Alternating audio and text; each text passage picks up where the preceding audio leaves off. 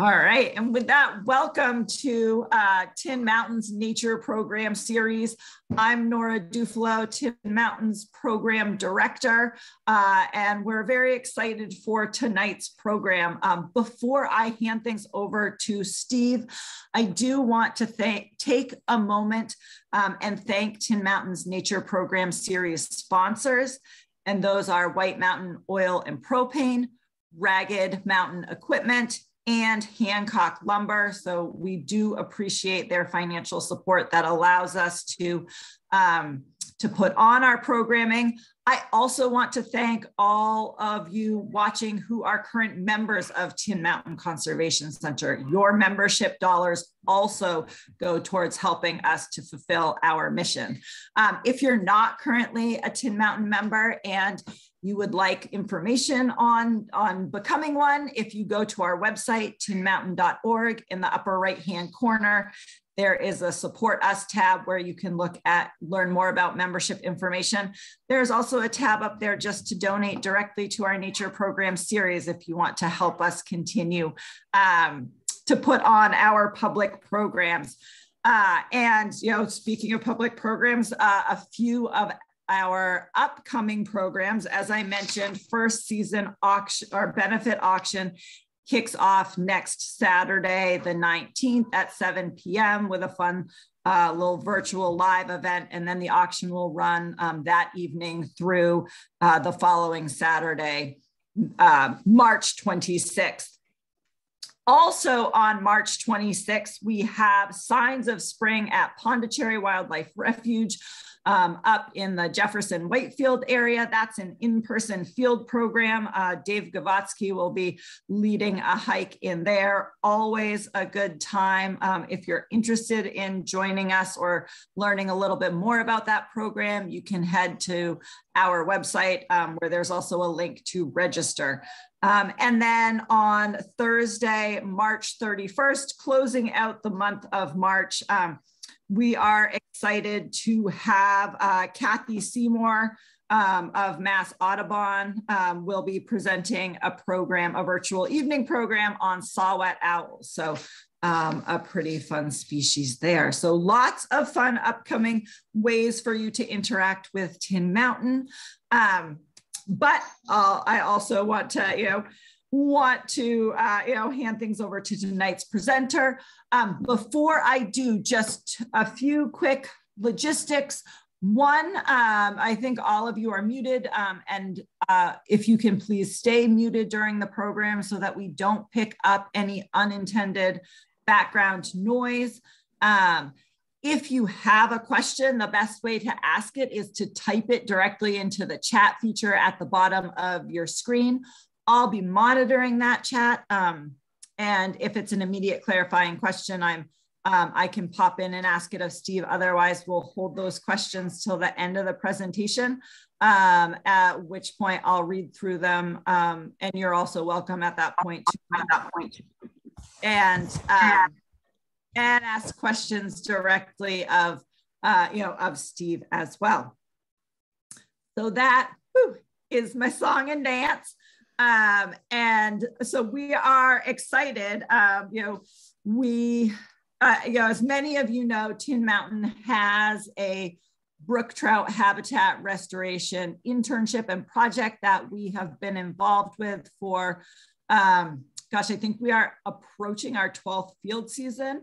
Um, and through that project, we have connected with a lot of great groups, Trout Unlimited, um, as well as the North Country Angler. And our interns last summer were, were, were very enthusiastic about fly tying and um, hosted a program at Tin Mountain, which um, which Steve came to um, and, and helped us to promote. And um, that was a great way of connecting. And we have been interested in, in putting a program together and so are glad that it came to fruition and thought that this is a perfect time. We're sort of approaching that cabin fever now that the snow's starting to melt. I think many of us, you know, wouldn't be sad to see it go and are, are looking ahead to, to spring. Um, so we're very excited to have Steve Angers of the North Country Angler um, presenting on fly fishing New Hampshire's secret waters. All right, so Steve, I'm gonna hand things over to you. All right, sounds good. Thank you so much, Nora. Thank you to all the Tin Mountain members that are here tonight. And um, I think you're probably here because you share a passion for um, brook trout and the beautiful envir environments that they live in. And uh, for years and years, um, New Hampshire wasn't really known as a go-to destination for brook trout. Uh, all the publicity went to Maine, but um, there are so many, so many good waters for brook trout in New Hampshire that uh, that somebody needed to talk about it, and uh, we'll get into exactly how I ended up uh, talking about it. But um, since I caught my very first brook trout at the base of Champney Falls at the tender age of six, brook trout have been my passion. So uh, this is just an extenuation of that, and uh, let's uh, let's move forward. I think Nora, I can just click and people will see it, right? Okay.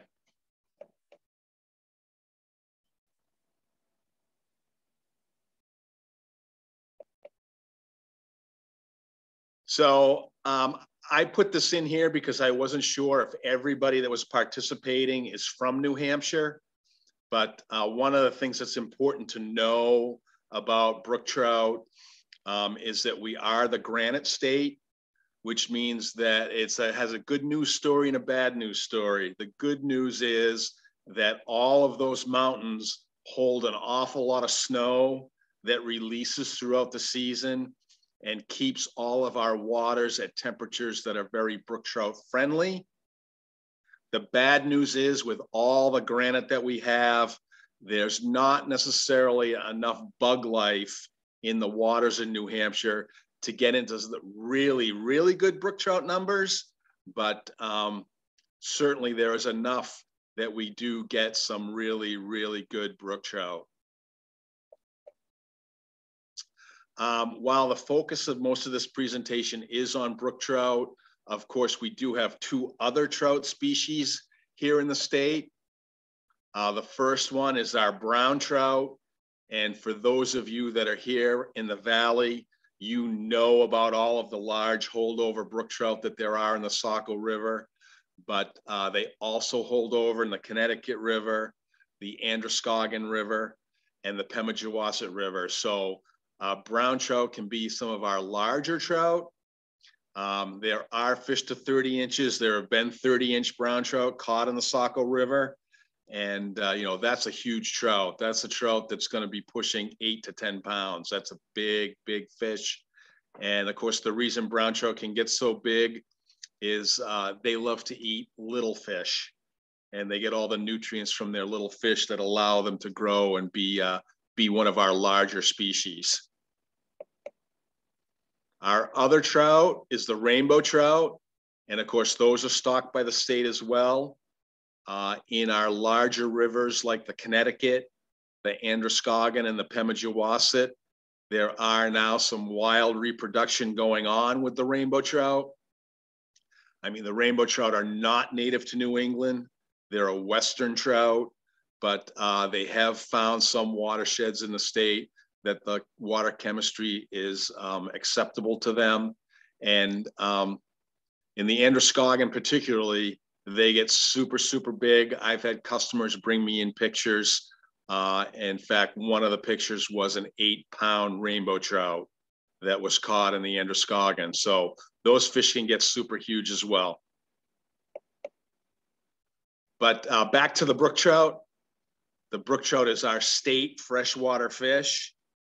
Um, that they are also stocked by the state throughout uh, throughout New Hampshire but we also have wild reproducing populations throughout the state as well. It's not a white mountains and north type of thing.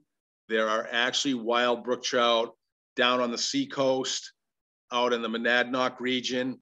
There's even one of the most prolific wild brook trout streams is right in downtown Manchester. So um, our water chemistry, for the most part, is excellent for brook trout. And the brook trout that are in our um, lakes and ponds have the opportunity to get up to five pounds. The state is broken up into, you know, four geographical regions for our brook trout. The Great North Woods is the majority of Coos County. And um, sorry about that.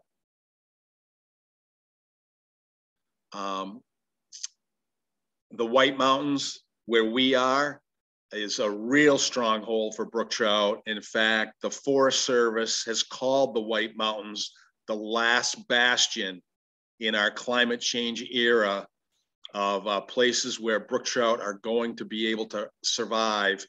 Um, any of the water above 2,500 feet, based on temperature monitoring done by the Forest Service, uh, stays in that 52 degree range, which is prime temperature for brook trout. So um, if the climate change continues the way it's going, you know, we are going to be the anchor for the preservation of, of wild brook trout.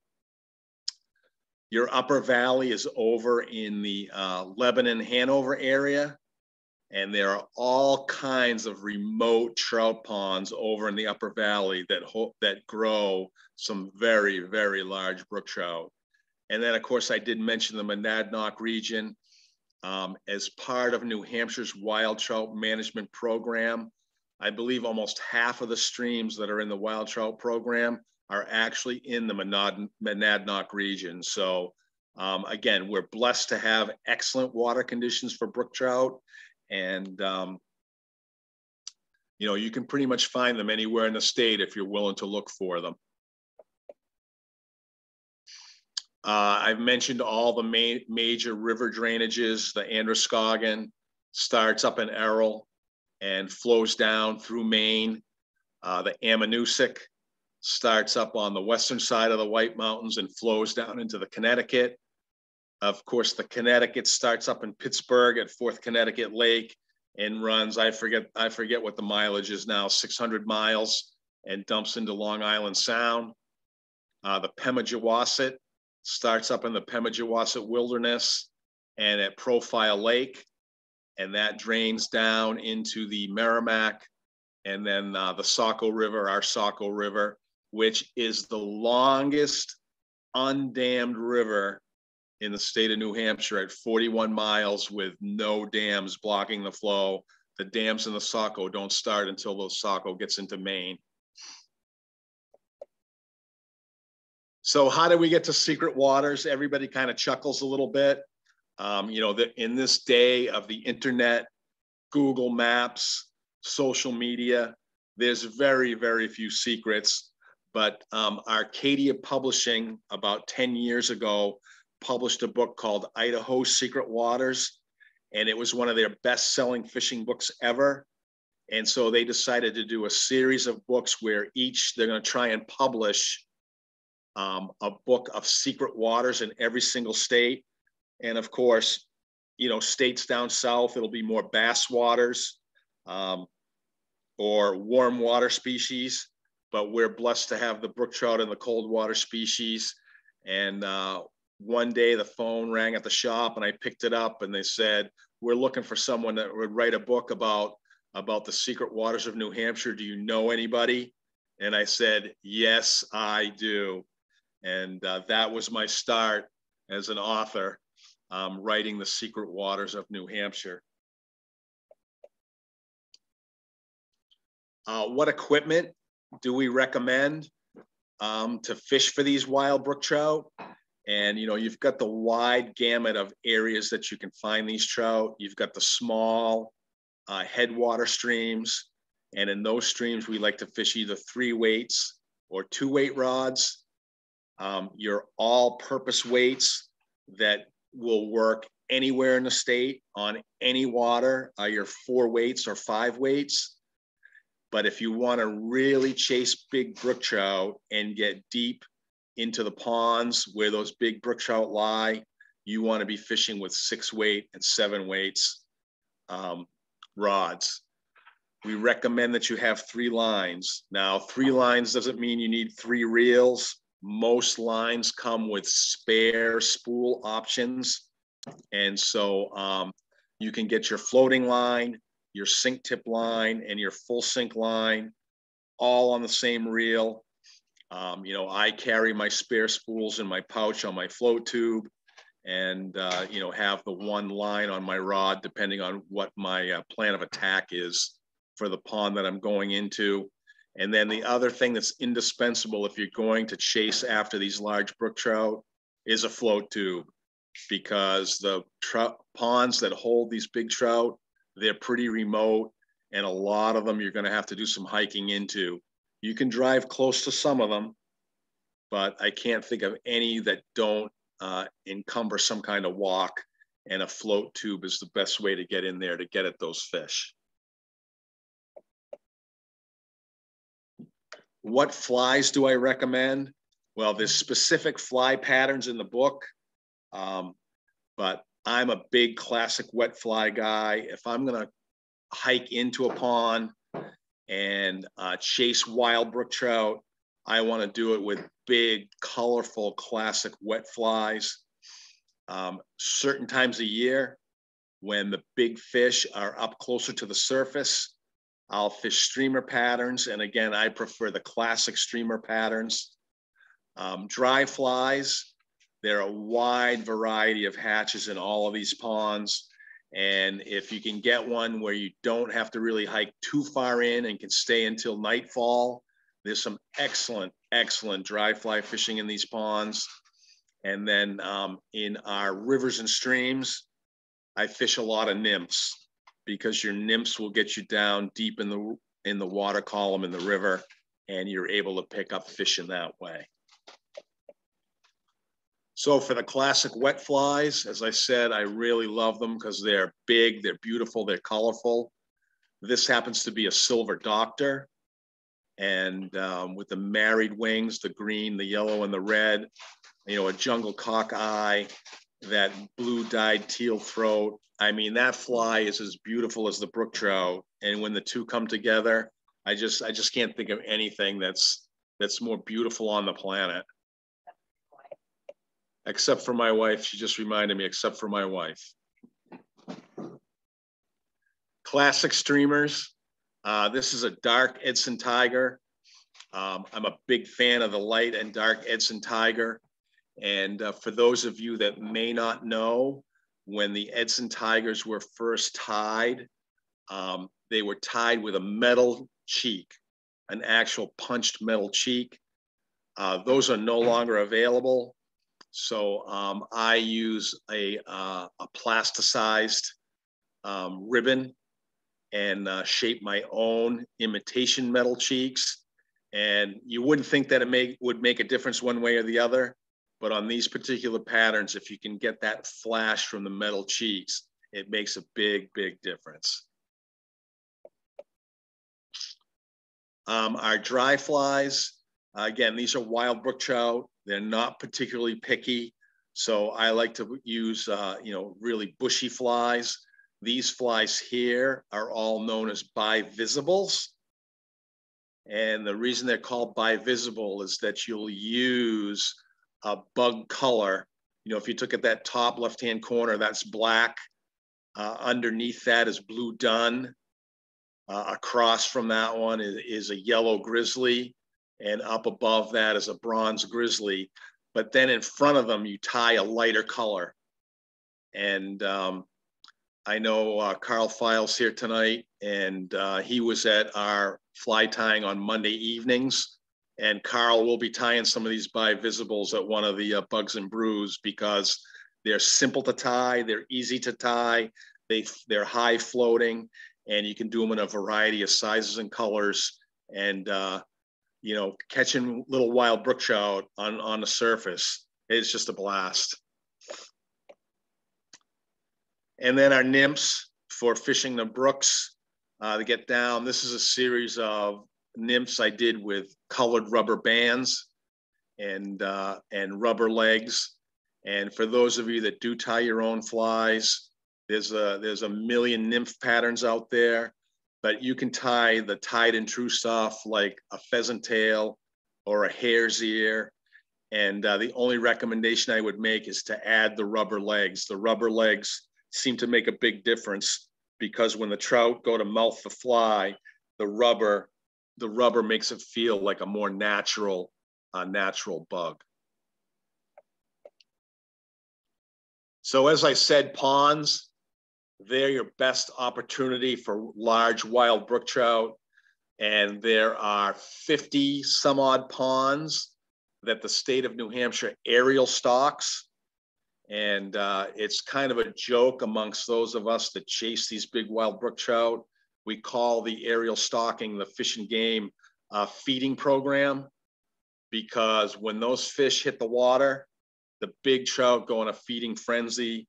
And uh, there aren't very many of those fry that actually survive past the first week that they get dropped in these ponds that have the wild brook trout. You want to hike in with your float tube. I've kind of covered that. Um, we're lucky here in the White Mountains because the majority of the remote ponds that we have here in the White Mountains have named and cleared trails you don't need to do a lot of bushwhacking. Right here, I'm getting ready to head into Big Sawyer Pond. And um, sorry, hit the button too soon. You know, Big Sawyer is one of our really nice, wild, remote brook trout ponds. And, uh, you know, it's only a mile and a half in. It is a mile and a half straight uphill, but it is only a mile and a half in.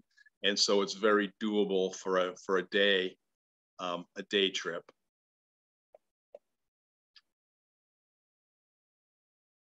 This trout here is a nice, wild 14 plus inch brook trout.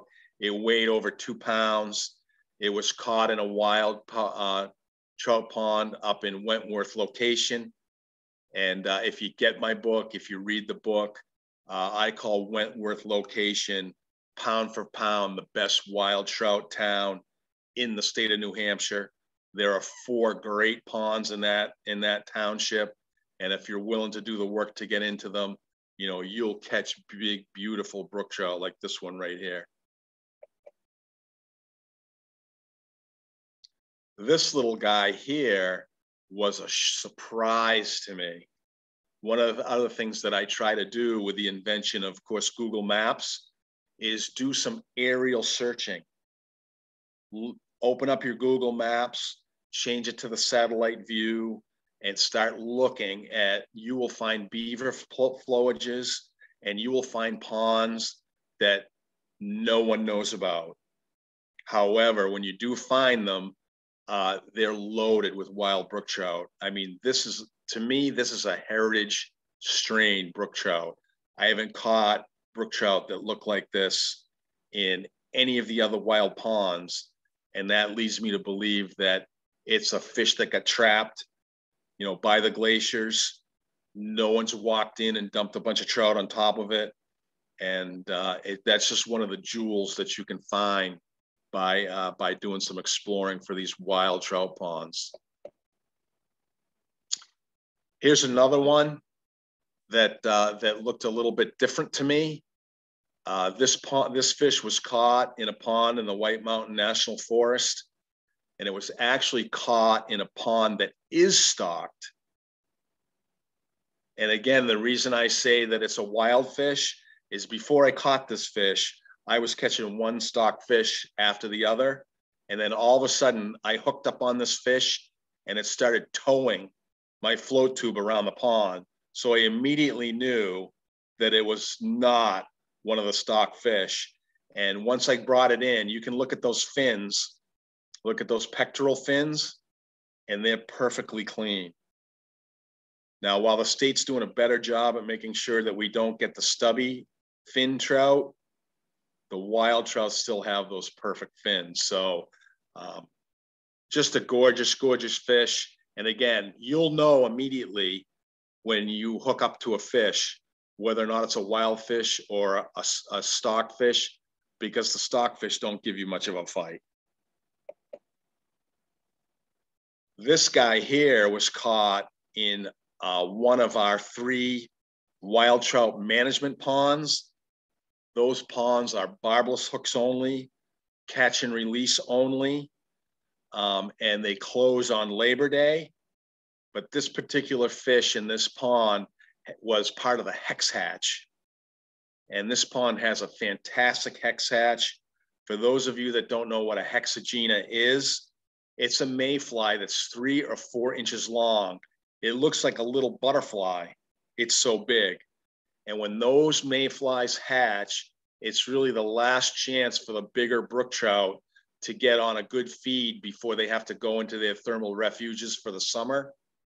And you can just have some epic, epic fishing if you get into a wild brook trout pond that has a Hexagenia hatch.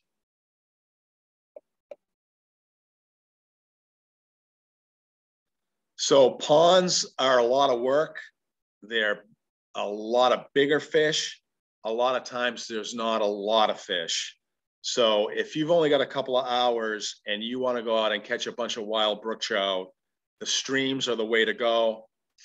Um, this stream here, I put this picture in because I know of all the good work that Tin Mountain's doing in getting large woody debris back into our streams, especially post Irene.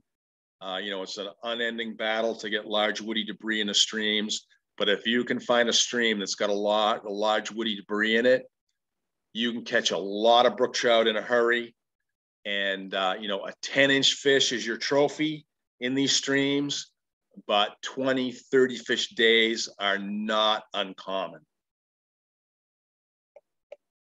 And as I say that, I give you a picture of a 13 inch wild brook trout that I caught in a stream in the White Mountain National Forest. So that's not to say that you won't catch bigger fish because you will, but honestly, that right there is is for a, for a, one of our wild brook trout streams in the White Mountain National Forest.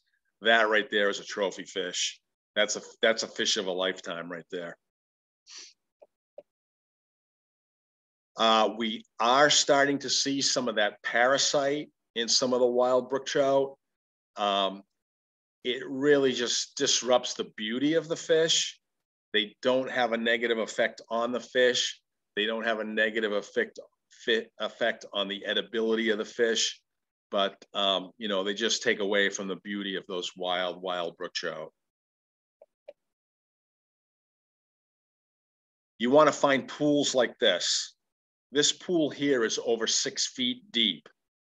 I mean, it doesn't look that deep because the water's so clear, but trust me, if I stepped in there, I'd go right over my head.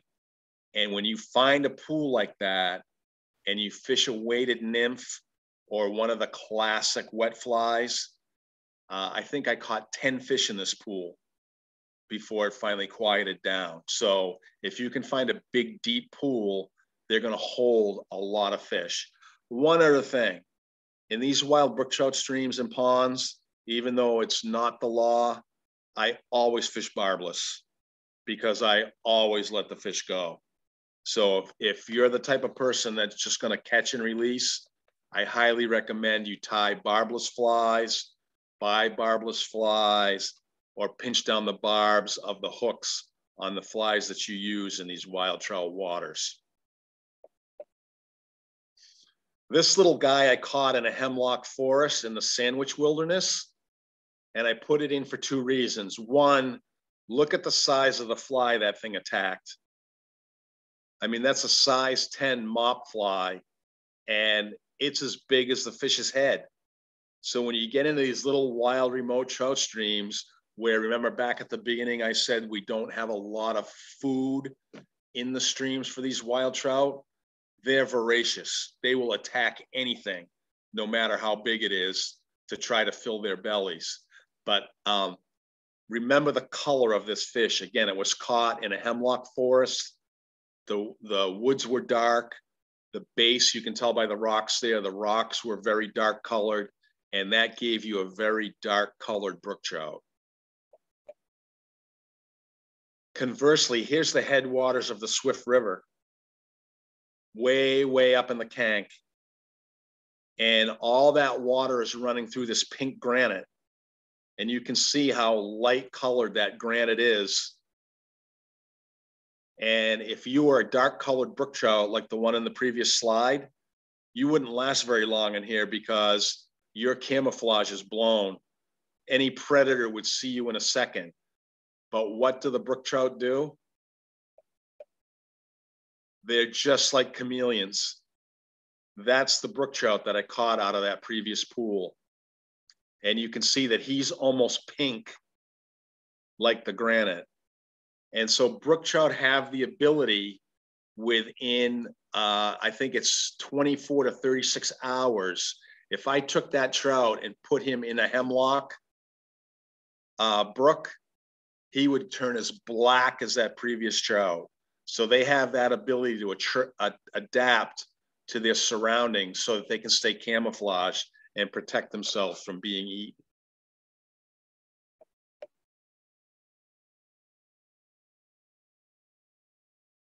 If you want to do a wild trout pond and you've never done a wild trout pond, I would highly recommend hiring a guide.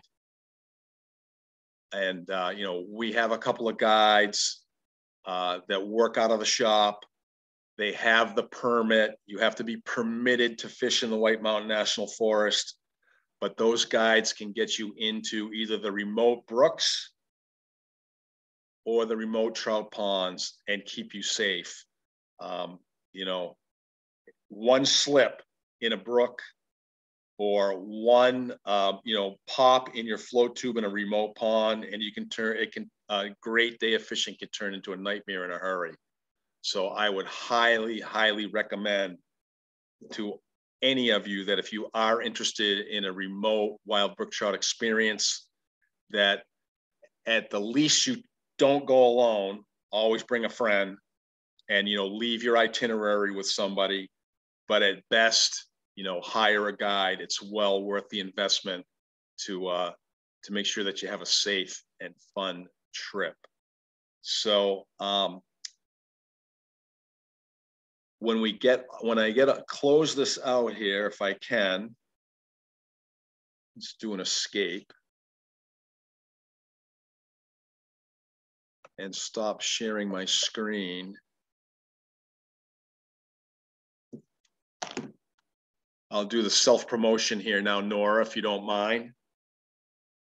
This is the book, Fly Fishing New Hampshire Secret Waters.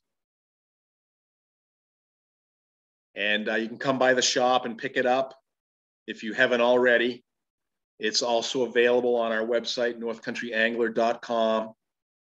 Um, if you mention that you saw the presentation here with Tin Mountain, when you place your order online or come into the shop, uh, I'll give you a free trout fishing pond map for the White Mountain National Forest. So that's a little added incentive for you to get the book.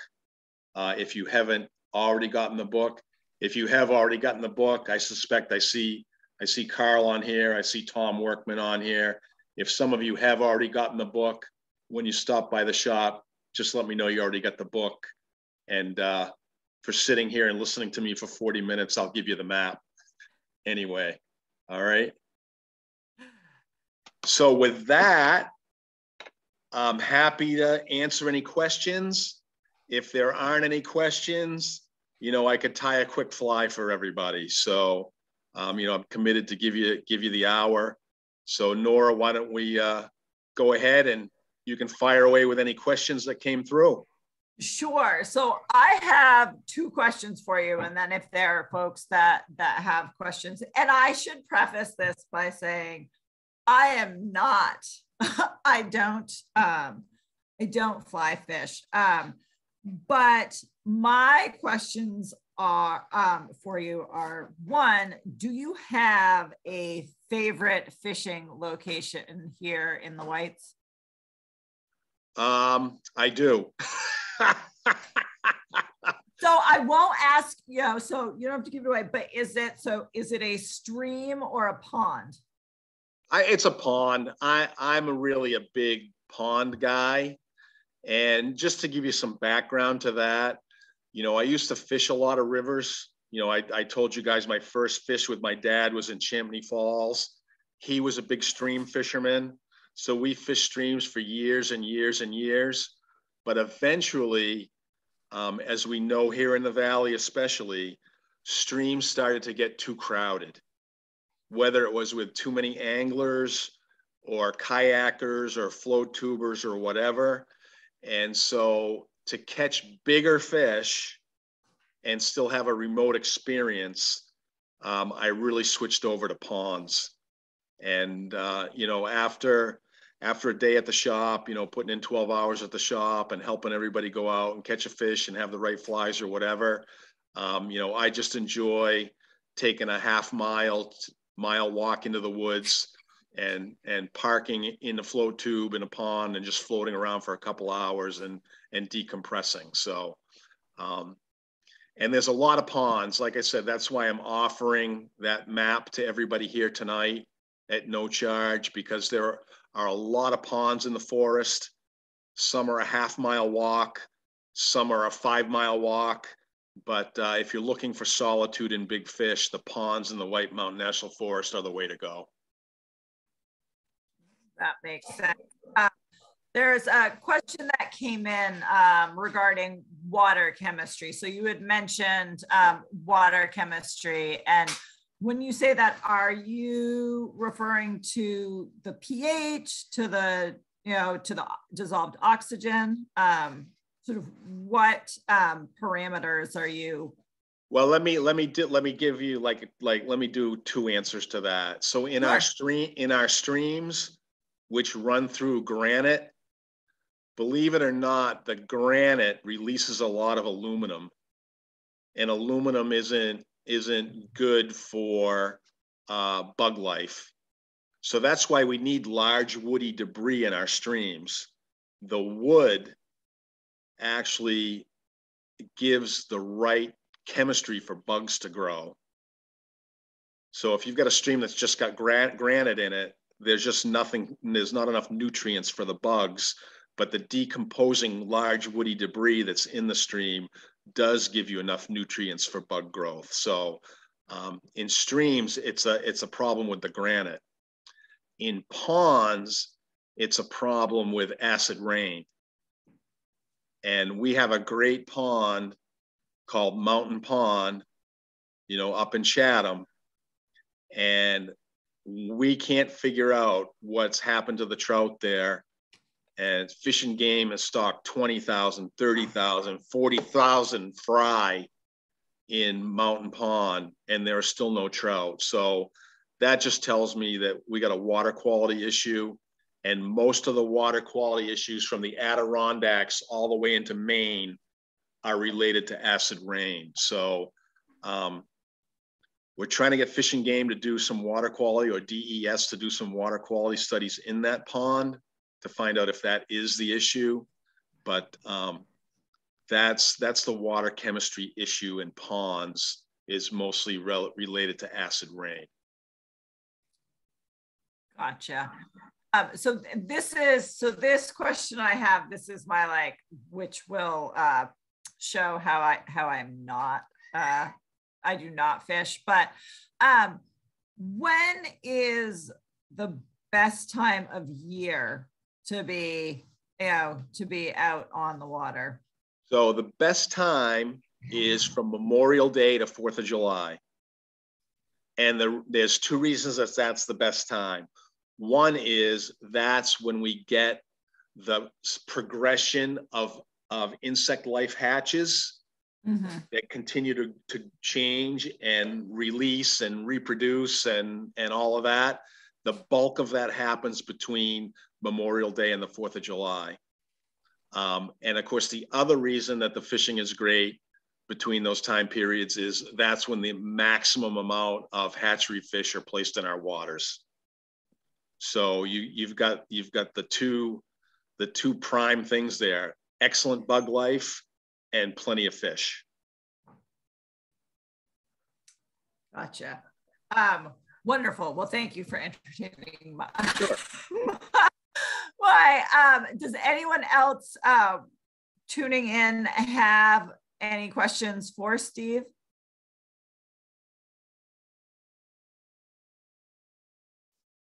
All right.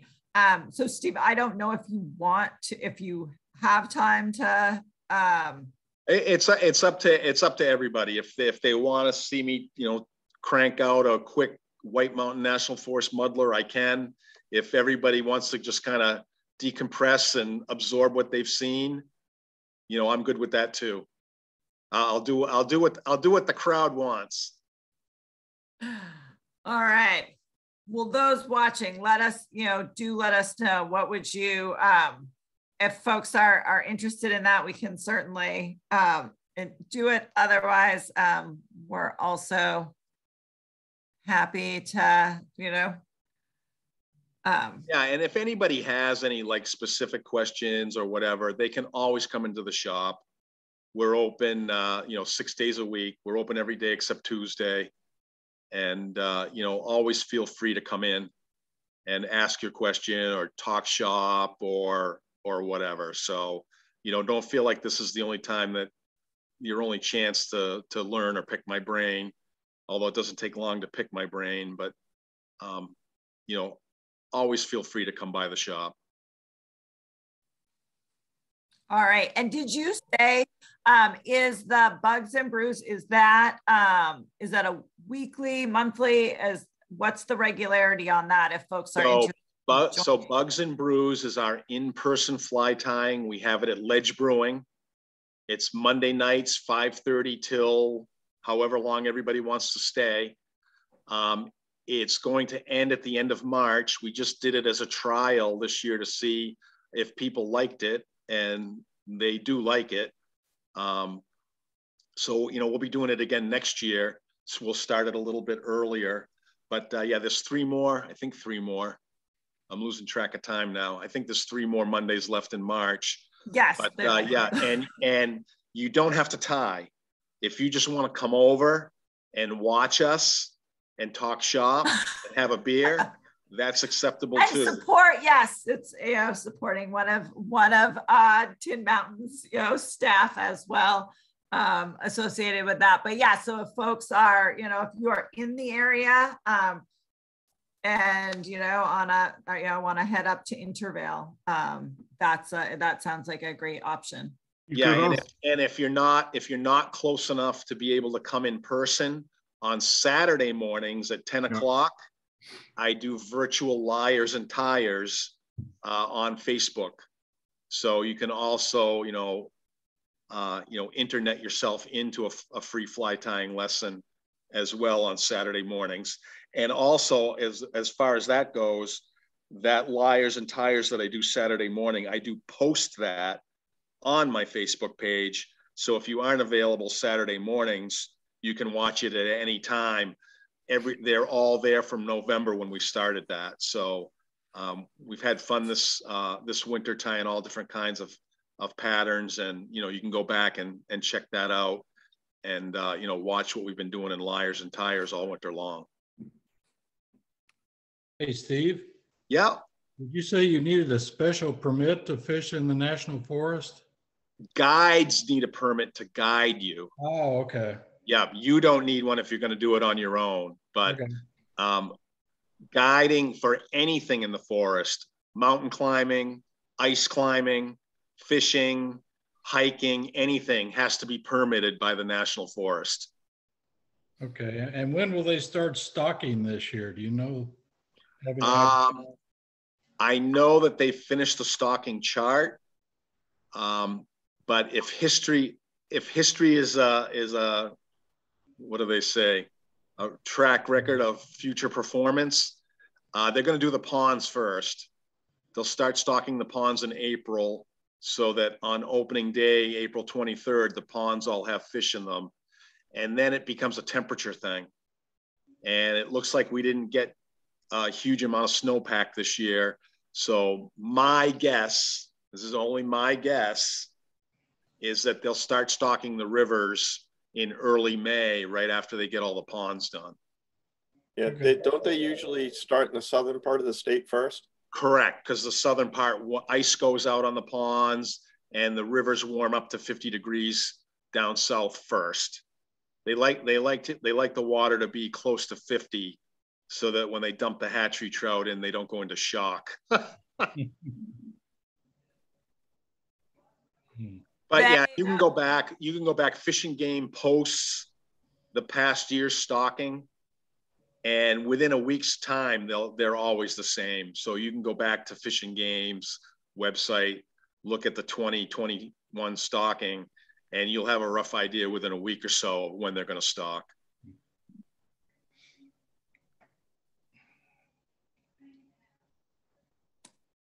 All right, wonderful. Are there any other questions for Steve? I just wanted to say, great job, Steve, and thanks for doing this for us. Appreciate it. Yeah, pr- appreciate you guys coming out tonight to listen to me. And, uh, you know, I've missed all you guys that used to come in person to Liars and Tires. Yeah, It looks like the pandemic might finally be waning and we can get back to fly tying in person at the shop Yep. next, next fall. let's hope so. Thank you, Steve. All righty, guys, thanks so much. Sure, And uh, don't you. forget, free pond fishing map if you get the book. Okay, Hey. All right. All righty, everybody, have a great night. Thank you so much. yeah. Uh,